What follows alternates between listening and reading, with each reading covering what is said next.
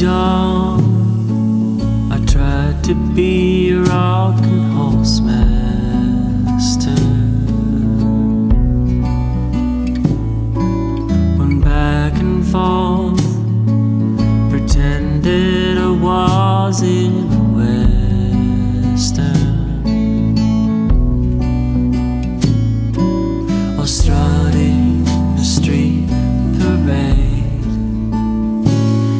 on Independence Day. Cause the bucking horse master always has places to